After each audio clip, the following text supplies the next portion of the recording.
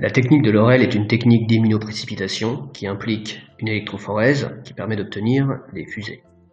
Il s'agit de l'immunoprécipitation simple, la concentration en anticorps est constante dans le gel, par conséquent la hauteur des fusées est bien directement proportionnelle à la concentration en antigène.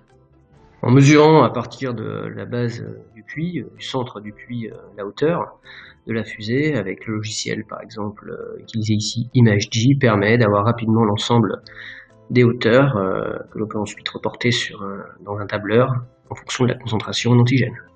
Concrètement, il va falloir préparer le gel, bien sûr, qui contient la solution d'anticorps, puisqu'on va voir juste après.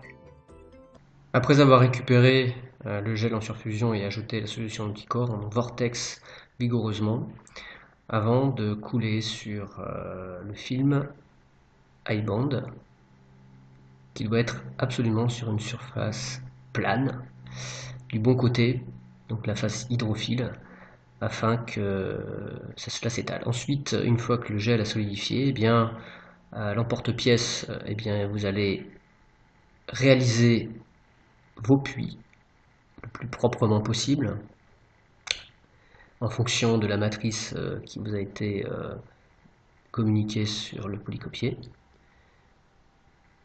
Voilà, l'exécution est relativement simple. Bon, la qualité de la vidéo laisse à désirer, mais voilà, c'est pour vous montrer.